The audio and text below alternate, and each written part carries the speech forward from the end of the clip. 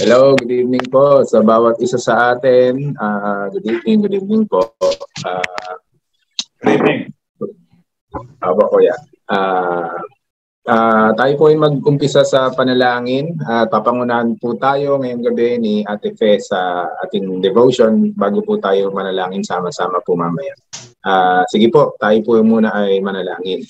Amang Diyos, salamat po ulit sa gabing ito na binigay niyo po sa amin. May pagkakataon po kami magnilay-nilay ng iyong salita.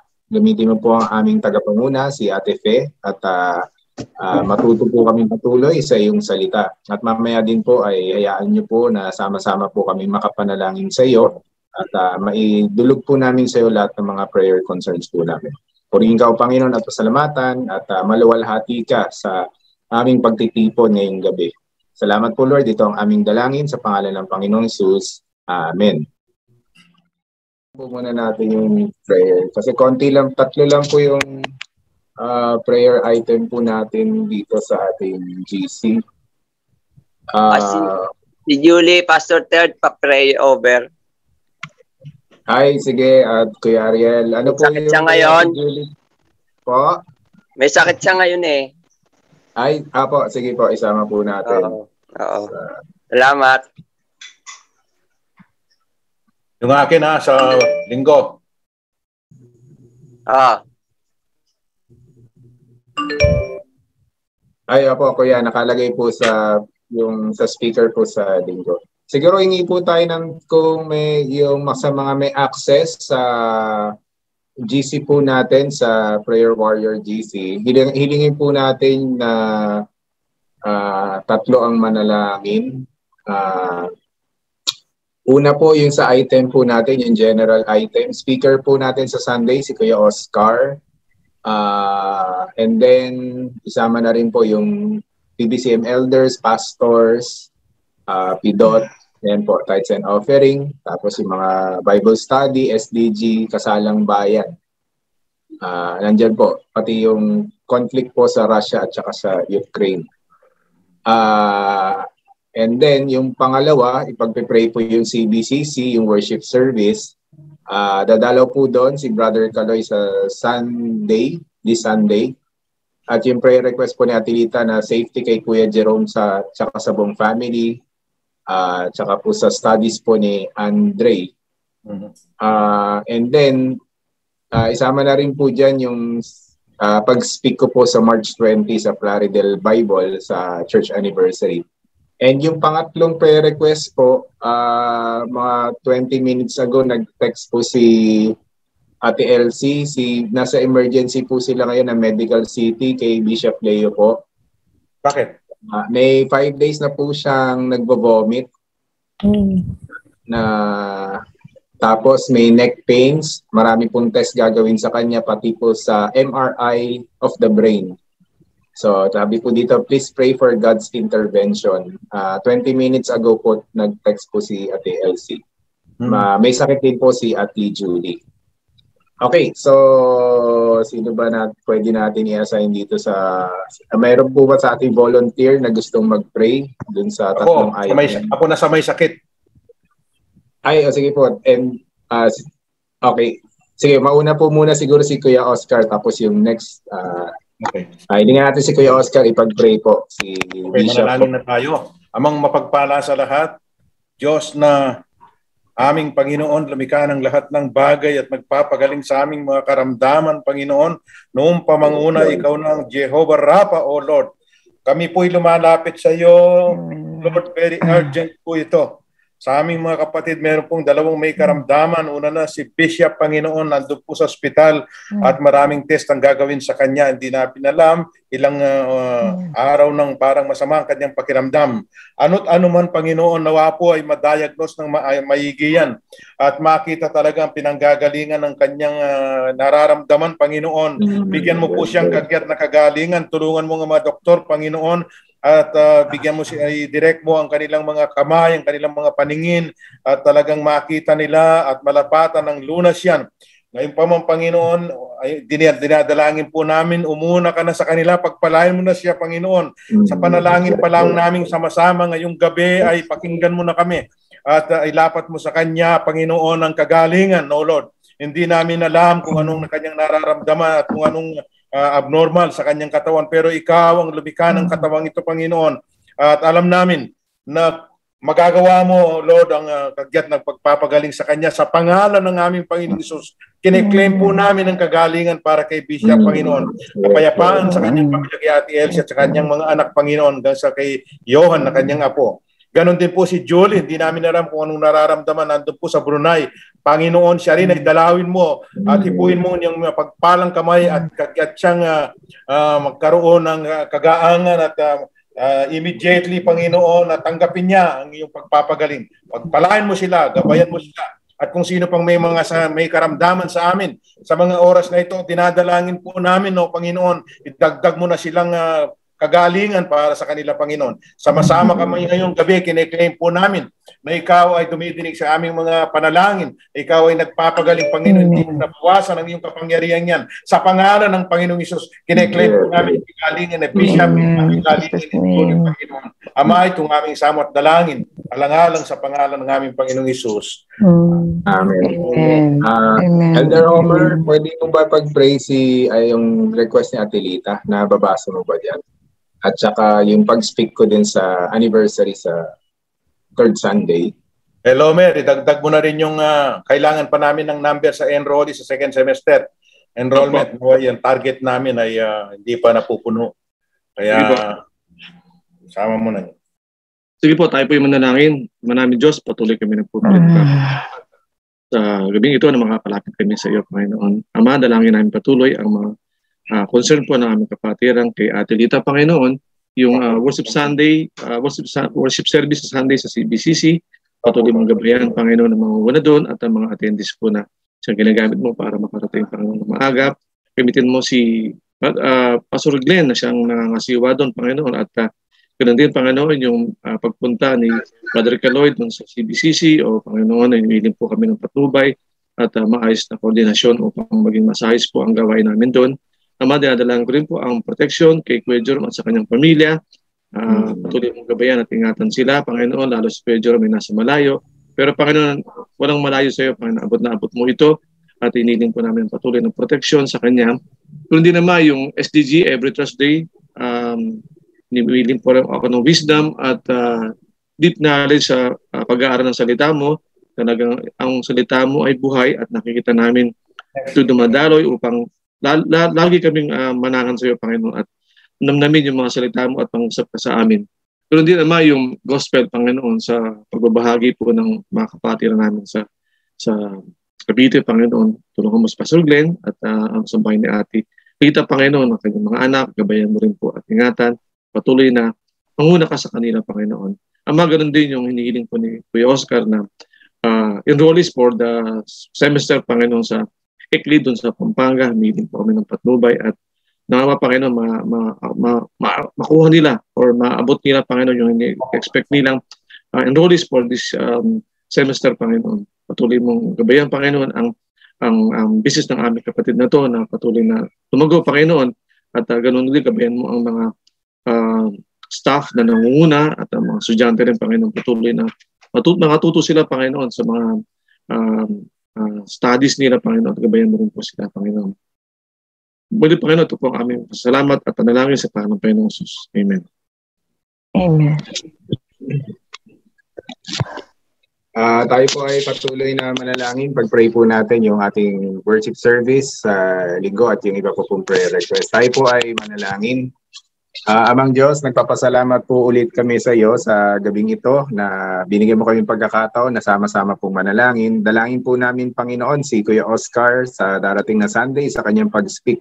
Bagamat uh, familiar po ang passage pero new po lagi ito, sariwa po ito every time na makakarin maririnig po namin galing sa iyong lingkod ang uh, ang ang message at uh, dalayan po namin na mangusap ka sa congregation at maisabuhay po namin anumang uh, mga blessings na mat- matatanggap po namin sa darating na linggo. Puspusin mo po si Kuya Oscar ng iyong Santong Espiritu ng sa gayon ay talaga makapangyarihang uh, ma-receive po namin ang iyong mga salita.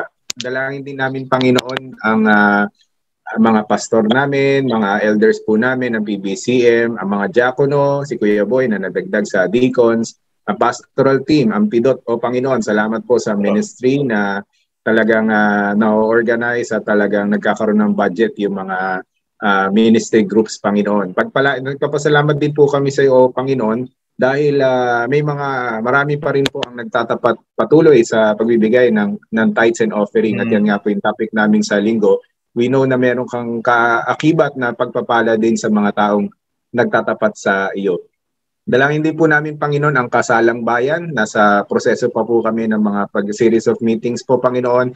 Pero alam po namin, pagpapalain mo ang gawain na ito. At uh, yun po ang desire namin talaga na maisaayos ang mga uh, ang mga unweds po namin, Panginoon. Nang sa gayon ay uh, walang maging hadlang sa pagpapala niyo po sa kanila. And at the same time talaga makapaglingkod na po sila ng smooth talaga sa inyo, Panginoon. Uh, dalayan ko din po, Panginoon, ang ongoing na conflict sa Russia at saka sa Ukraine. Alam po namin, Lord, uh, na hawak mo ang mga bansa, ang mga nation, sabi mo po sa iyong salita, hawak mo po ang ang puso ng uh, ang mga leaders ng uh, mga nations, Panginoon.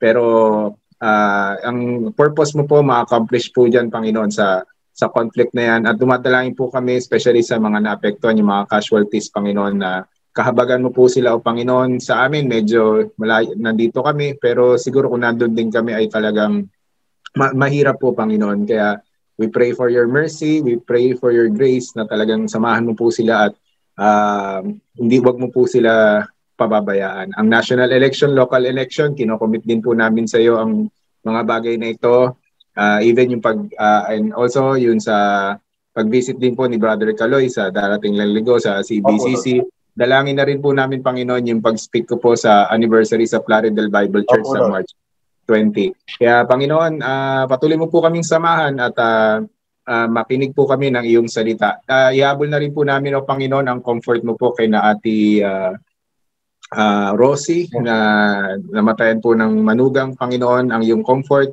Ma, mapunta kay na Paeng, kila Joy, Panginoon.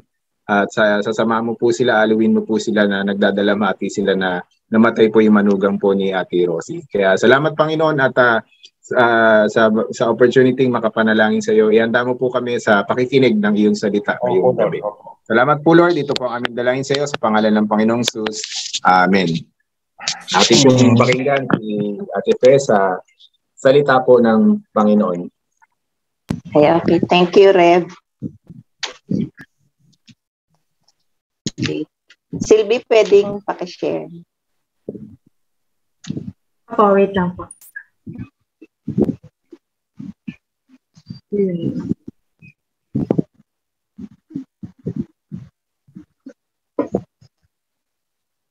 Okay, yung topic po natin ay yung binigay po sa atin, ang, ang pamagat po niya is weeds among good ants. But actually, pag uh, if we will refer to our Bible, matatagpuan po ito sa Matthew 13 verses 24 to 30 ay may pamagatang parable of the wheat.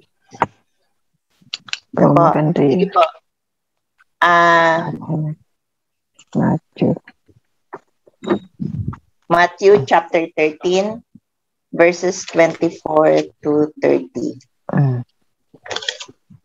Okay, babasahin ko na lang po yung um, sinasabi dito sa ating passage for tonight. Ang sabi rito, um, Jesus told them another parable. Kasi po, if you will remember last week, si Brother Homer po, si Elder Homer ang ating, nanguna sa ating devotion. He discussed about the parable of the uh, sower wherein so parang laging nagtatanim tayo ngayon. so ito po yung ating ano ang ating uh, pinag-aaralan. Marami sa Biblia ang sinasabi tungkol sa um, sowing, sa planting, and harvesting. And this is just one of the many um, account and uh, parables regarding the kingdom of heaven and on uh, sowing or planting. Dito po sa verse 24, babasahin ko. So, the kingdom of heaven is like a man who sowed good seeds in his field. But while everyone was sleeping, his enemy came and sowed weeds among the wheat and went away. When the wheat sprouted and formed heads, then the weeds also appeared. Verse 27 The owner's servants came to him and said, Sir, didn't you sow good seeds in your field? Where did the weeds come from? An enemy did this, he replied. The servants asked him, Do you want us to go and pull them up? Verse 29 No, he answered, because while you are pulling the weeds, you may root up the wheat with them. Verse 30 Let both grow together until the harvest. At that time, I will tell the harvesters first collect the weeds and tie them in bundles to be burned. Then gather the wheat and bring it into my barn. Okay, since this is a parable po, ay, Ate Silvi, ayaw, hindi ma-share.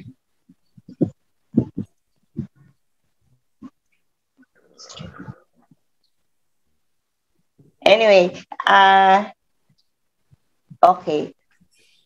So since this is a parable, so ang mga disciples ni Jesus was not aware ano kayang ibig niyang sabihin, 'di ba? Pag gumagamit ng parables ang Panginoong Jesus, ah uh, hindi ito tuwirang naiintindihan ng lahat ng mga nakikinig. But this time around, ipinaliwanag ng Panginoong Hesus ano ang ibig sabihin ng parable. Makikita natin ito dito sa sa next slide sa Matthew 13, uh, 37 to 43. So, dinescribe, ipinaliwanag ng Panginoong Jesus sa kanyang mga disciples nung tinanong siya kung ano yung ibig sabihin ng kanyang parable tungkol sa uh, masamanda mo. So, he answered, based sa verse 37, basahin ko po, The one who sowed the good seed is the Son of Man. Mm-hmm. The field is the world, and the good seed stands for the sons of the kingdom. The weeds are the sons of the evil one. And the enemy who shows them, who sows them, is the devil. The harvest is the end of the age, and the harvesters are the angels. Verse 40 As the weeds are pulled up and burned in the fire, so it will be at the end of the age. The Son of Man will send out his angels, and they will weed out of his kingdom everything that causes sin and all who do evil. They will throw them into the fiery furnace where there will be weeping and gnashing of teeth. Then the righteous will shine like the sun in the kingdom of their Father. He who has ears, let him hear. Okay, to summarize po what Jesus has said, ito makikita natin dito sa next slide. Kasi yung who are the characters and what are the different uh, and to whom are the different items referred to. So makikita natin, number one, the sower. Sinabi ng Panginoong Jesus, yung sower is Jesus, the Son of Man. Sabi niya. And then the field is the world. So, uh, malinaw yung pagkaka-explain ng Panginoon Jesus sa kanyang mga disipulo. And then, third, the good seed, sabi niya, refers to the sons of the kingdom or the believers. And then four, fourth, the weeds, the sons of the evil one naman. And they are the unbelievers. The enemy is the devil. The harvest refers to the end of the age or the end of times. And then seven, the harvesters are the angels. So, um, in-explain na ng Panginoong Sus na kung ano yung mga, uh, ano yung nire-represent doon sa kanyang pa- parable. So, upang maging malinaw sa mga nakikinig. Dito po, uh, sa next slide, makita natin yung mga spiritual truths we can learn from the parable. Uh, number one, yung the planters or the sowers. So may dalawa, may dalawang uh, planters tayong nakita dito. Una, ang Panginoong Jesus, the Son of Man. At pangalawa, yung enemy, which is the devil. So, um, may dalawang naghahasik. Ang una, ang Panginoong Jesus. Ang pangalawa, ang devil. The Son of Man sowed the gospel seeds. No? Siya yung naghahasik ng ebanghelyo. And Jesus is raising up believers. Siya yung nagpapatu siya yung nagpapalaki ng mga mananampalataya. Whereas, so ito yung kaibahan nila. The devil being also a, a sower, naghahasik din siya eh. Pero iba ang hinahasik niya. Ang naghahasik siya ng destruction. And he spreads counterfeit seeds. Yung ano, yung fake fake na ano na binhi ang kanyang itinatanim. Kung babalikan natin yung sinabi doon sa verse uh, uh, Matthew 30 verse 25 hindi ba na sa verse 24 nagtanim naghasik ang Panginoong Jesus ng mabuting binhi sa kanyang uh, ano sa kanyang field. However, while everyone was sleeping, yung enemy came. So, makikita natin how the enemy works. He works behind the back and he's really uh, trying to destroy secretly no yung gospel o yung yung yung action na ginawa ng Panginoong Jesus, yung kanyang paghahasik ng uh, ng gospel. The enemy came, tapos naghasik din siya ng mga binhi. So, uh, at umalis. So, that means, while, while, while everyone was asleep and no one was looking, the enemy came at he came to destroy eh. So, nag, naghasik din siya. Pero ang hinasik niya, it's not the real seeds. No? Kung hindi, uh, sinasabi nga dito, ay counterfeit seeds. So, may dalawang maghasik. At ngayon, ano naman nangyari doon sa plants, doon sa mga inihasik? Number one, yung good plants. So, yung good plants, doon sa nabasa natin sa verse 26, ano, nagsimula ng tumubo, not only the good but also the fake, the fake uh, plants. Pareho silang tumubo at nagumpisa ng uh, lumaki. Pero sa harapan ng sower, sa harapan ng sower, kilala niya kung ano yung kanyang tinanim. So this one is very clear. Alam ng alam ng Diyos kung sino yung kanyang mga tinanim. So the good plants are known by the sower. Ang mga mananampalataya representing the good plants ay kilala ng uh, ng mga ng nagtanim. Parang yan nga parang ang tupa, 'di ba? Yung yung shepherd, he knows the sheep. So kilala. And then The good plants, ano pang characteristic ng good plants? Sabi dito, it goes through the delicate process of growing eh. Kasi merong process of growing, proseso yung paglago. So yung paglago sa Panginoon, proseso hindi siya immediately nag-mature na at namunga at hinarvest na. Hindi. So there's a process. For the good plants, ganon ang nangyari. Ay ganon ang ine-expect natin na nangyayari at talagang nangyayari. So, what about the weeds? So, sabi natin, the good plants known by the sower, it goes through the, the delicate process of growing. Yung mga weeds naman, ang tawag dito, di ba, yung mga ligaw na damo o masamang damo eh, ang sabi sa Tagalog eh. sila, lumalaki, nag, uh, nung nag-sprout sila, parang kaparehas din sila ng good plants. Mm-hmm. So, however, for those who will not uh, who are not aware, pwedeng mapagkamalan siya na parehas din siya ng good plants habang maliit pa sila at habang lumalaki. Pero the weeds are known by the devil. Kasi siya nga yung naghasik niyan, eh. siya yung nagtanim eh. It take the appearance of the good plants. Ginagaya niya talaga. Counterfeit seed siya eh, di ba? So halos pareha sila kung titingnan. Even intertwined its roots with the good plants kasi sabay silang lumaki, lumalaki. So nagkaka-roots din siya. The good plants are also um, having roots. So parehas. So mahirap makita ang difference. Lalo na habang maliliit pa sila.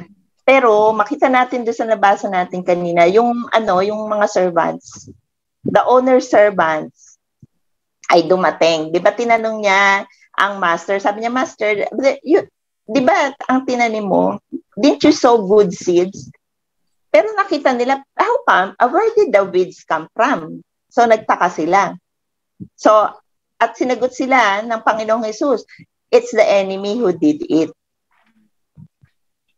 So, the, the servants volunteered to, ano, ay, nag-volunteer sila, gusto mo ba alisin na namin to pull them up? Alisin na yung mga, yung mga, ano na yan, yung mga weeds na yan, yung mga masamang damon na yan, para, para, dahil ang, ang plano lang natin, ang ipaplan, ang ihasik lang naman talaga natin ay good plans.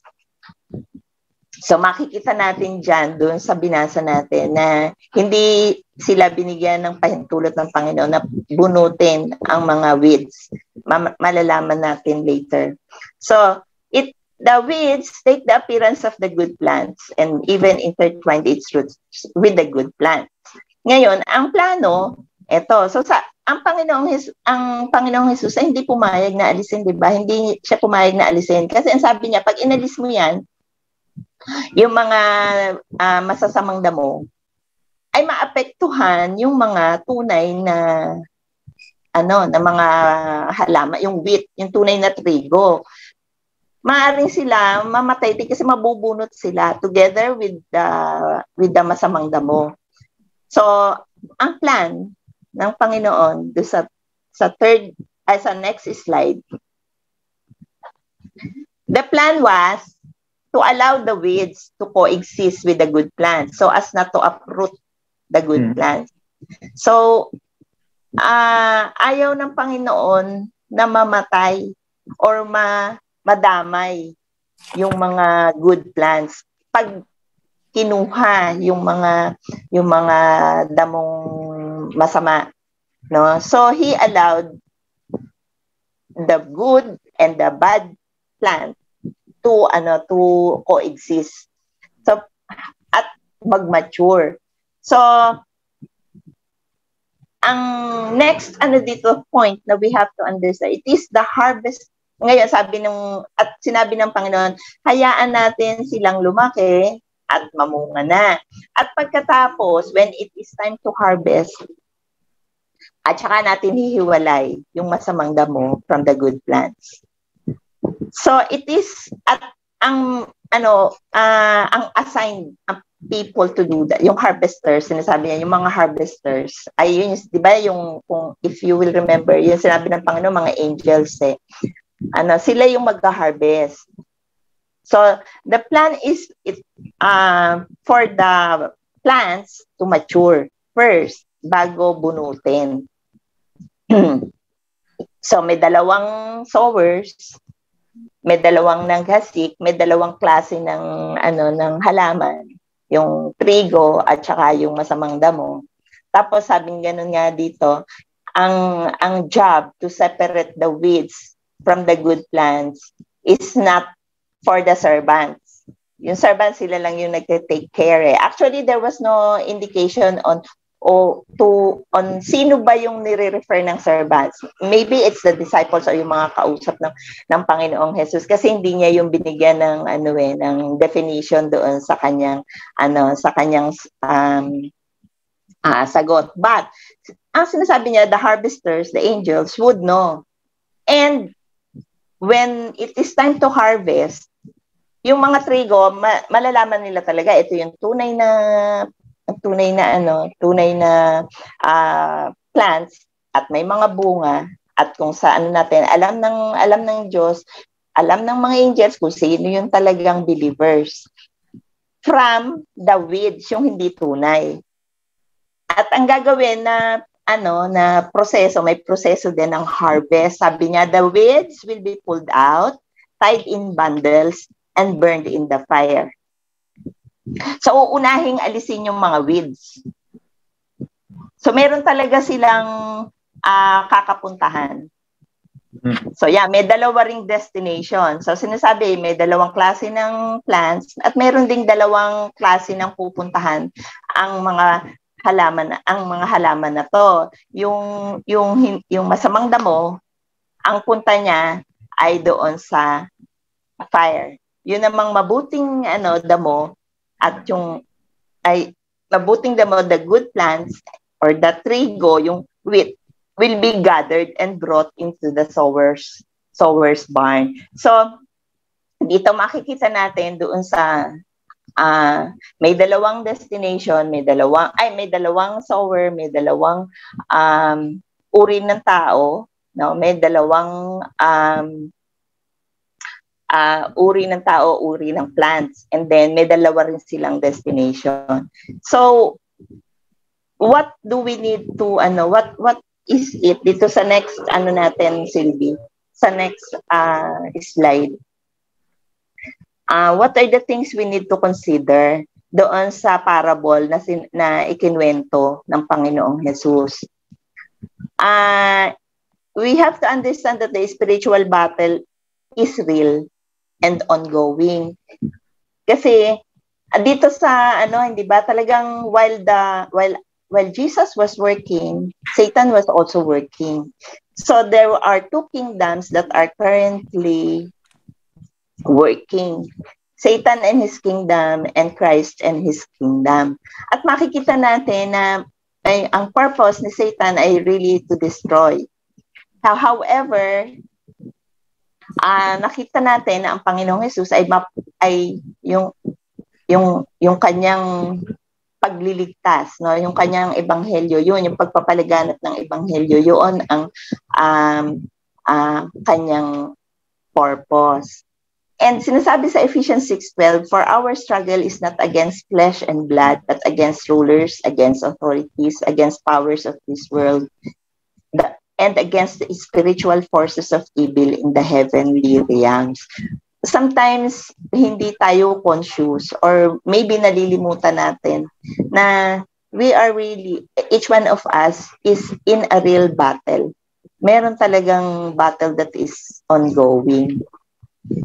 And it is so uh, difficult uh, to realize na we are in a real battle kasi parang naka-cloud yung ating kaisipan ng, ah, eh ano lang yan, di ba parang um, ang na, naiisip ba natin, halimbawa yung mga cartoons na may satan na may hawak na malaking tinidor, yung mga parang ganun lang. Pero hindi, all the, the ang ating kalaban ay tunay. It's not just a cartoon or yung mga napapanood natin sa pelikula na pagka merong bida, may kontrabida. It's not as simple as that because um, while our uh, while our master while uh, while uh, while Jesus is really working for the furtherance of the gospel si Satan naman is also doing his thing to delay to destroy and to uh, uh, sow uh, lies among people so this is a number two. It is God's task to separate the false from the true believers. Uh, makikita natin, ginagawa ni Satan, di ba? Yun nga, nagka-counterfeit siya eh. So, um, we, we may not be aware that Satan is really using people, kunwari, to teach, uh, para magturo ng hindi tama ng, ng malayo sa, sa sinasabi ng Biblia.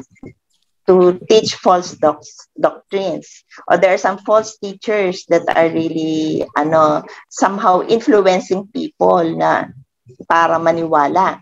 Pero ang ano ang ang while while si Satan is really trying to cloud the minds of people we as believers it is very it is very important that we really stay grounded and be uh, knowledgeable on the faith na una nating nalaman. So it would help na na lumalago talaga tayo. 'Di ba sabi nga natin that the process of growing parang sa sa ano sa sa plant ay ano ay the the process of growing ay dahan-dahan yun eh.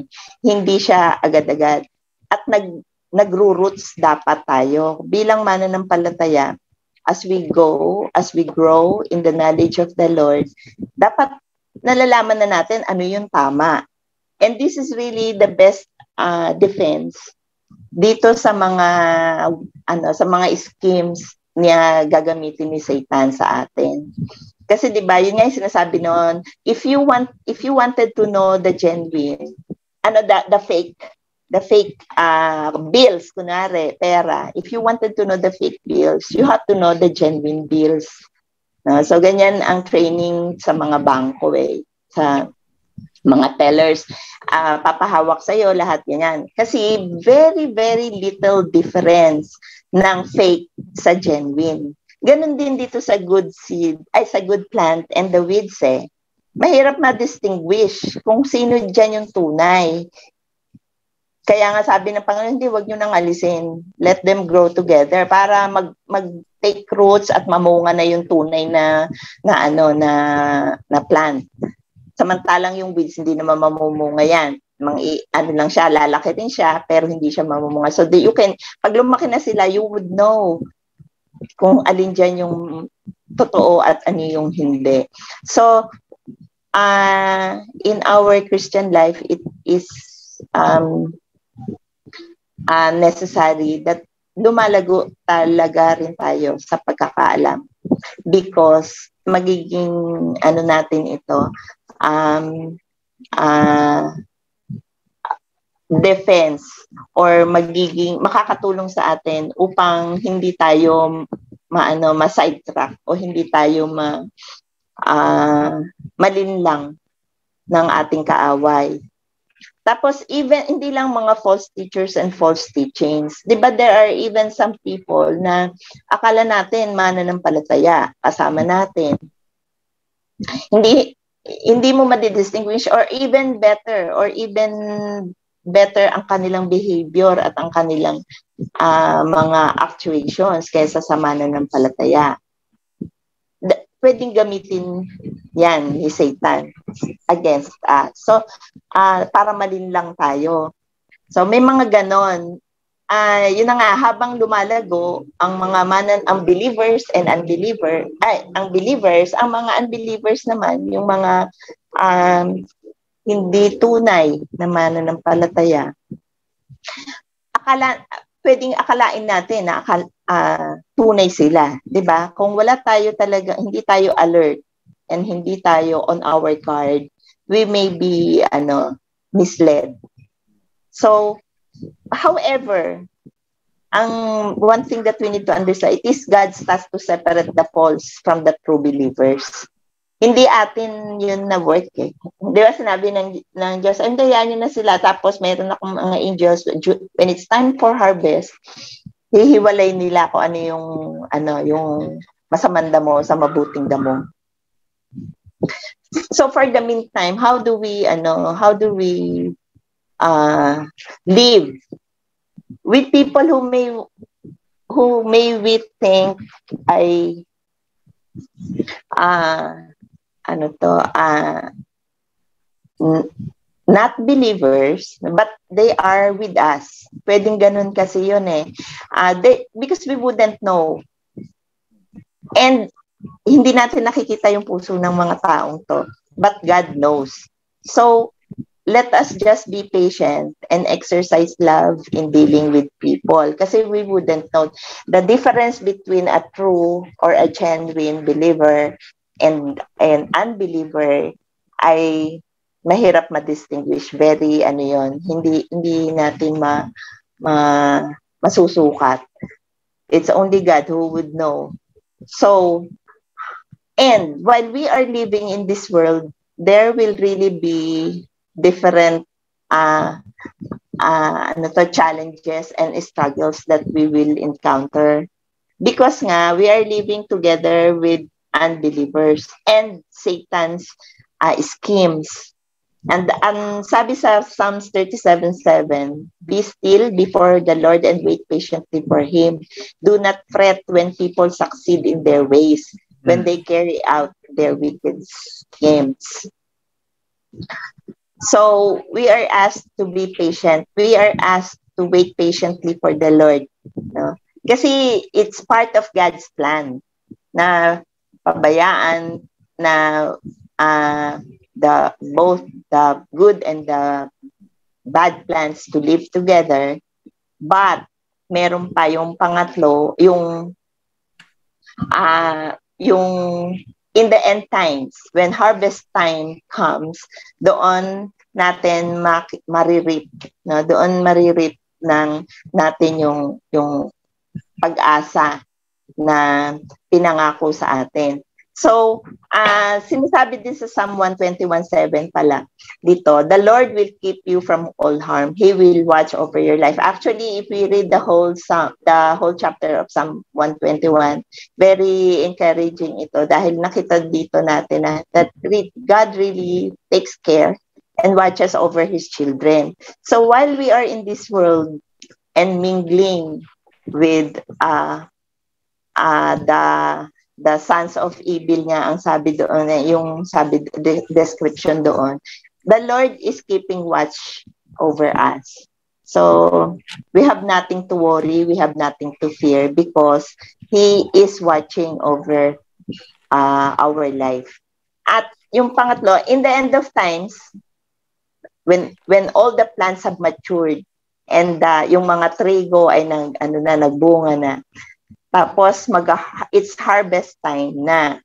Dito na talaga ma, makikita na sino yung tunay na na uh, followers of Christ at sino yung nagpapanggap lang. Hmm. At doon yun. So the, the true followers of Christ will reign with Him while the devil in his cohorts will be thrown into hell. Okay, meron po kayong dito hanggang dito lang po yung ating yung ma-share ko po ngayon. Baka may gusto po kayong idagdag. Kuya, si Reb.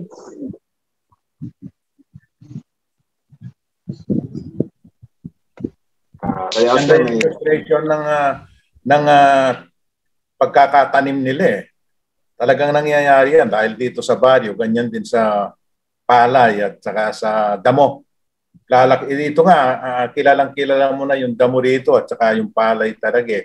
Pero just the same, uh, inaalis nila yan, uh, mag-iingat ka kasi naka, parang yung kanilang root ay naka-intertwine na. Kaya mabubunot Ayun. talaga yung mabubunot mo talaga yung tunay. At sa atin din sa mundong ito talaga pag uh, nabunot mo yung uh, binunot mo, hindi ka naman marunong bumunot niyan, hindi tayo magbubunot nito mga anghel eh. Mm. Kaya mm. Eh, sila kilala nila yan. Tayo hindi natin kilala kasi nga they walk like us, they talk like us, ang behavior nila minsan eh, mas maganda pe. Pero kung sabi ni Ate Pe ay magpapatuloy tayong pasensya at lalago tayo, nakadikit tayo sa salita ng Panginoon, in the, in the long run talaga, bago pa dumating yun, mapagkikilala na natin na hindi sila tunay.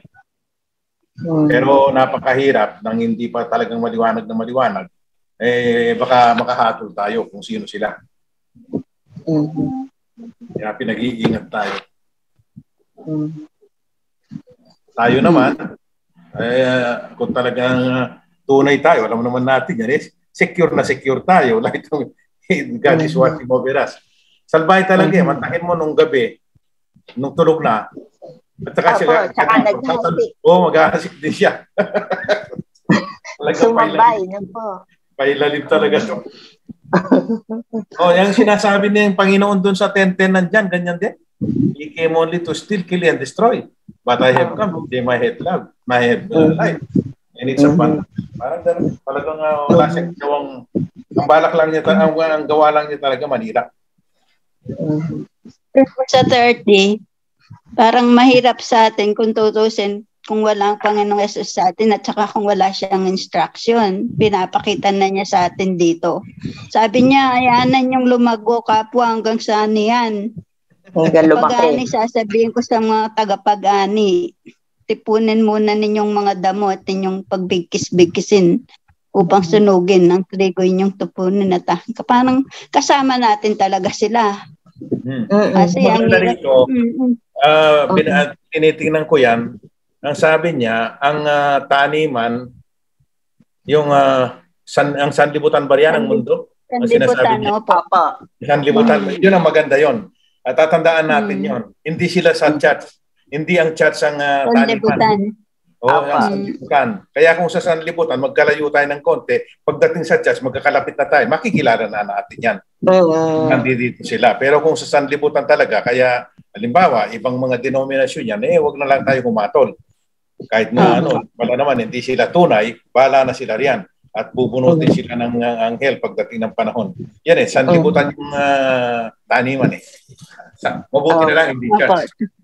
May Sanlibutan. nalilito sila sa atin dito, pero makikilala natin sila pagdating ng panahon kung sa church. Diki- Dikitan tayo yan eh.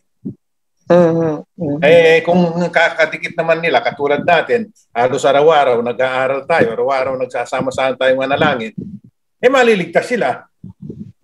Mali- matitino sila. Kung hindi naman, magkakabistuhan tayo. Kung lalabanan nila yung aral na katulad ng ginagawa natin yan, kung lalabanan nila yan, eh magkakabistuhan na tayo. Para pong ano, kuya, naalala ko lang, meron kaming tanim dito ng tanlad eh, yung lemongrass. Aba, may, yung may, tin- may katabi rin siyang ano, yung parang kugon. Na tuma- Ah, o damot. Pero yung pala, sabi ko, parang ang lagu-lagu din. Ang ganda-ganda nila parehas. Nung, nung, binu, nung inamoy ko, doon nagkat, doon, doon, Aha, doon Hmm. nagkatalo. Kasi sabi ko, teka, eh walang amoy. So, hindi ito lemongrass. Ang bango na, ang bango na amoy mo na. Ayun. Mm. Oo, Yeah. yan, tama. Kaya yung Tama, sigurado may pagkakaiba yan. Kahit sa tingin Oh. natin mga ano, uh, parang Okay. pagkakaiba, pero may pagkakaiba yan.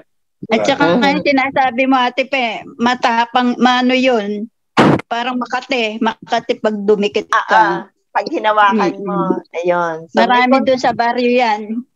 Ah, Puro ganyan ang tumutubo. ayun nga. So may ano no, kagaya nun, sa amoy, sa, sa hawak. Sa, Oo. ah, parang ma- matapang eh, parang ma- masusugat ka pag Yeah. hinawakan mo siya. Mm. Parang yung atin din, ang tupa sa kakambing, talagang magkaiba ang amoy. Mm.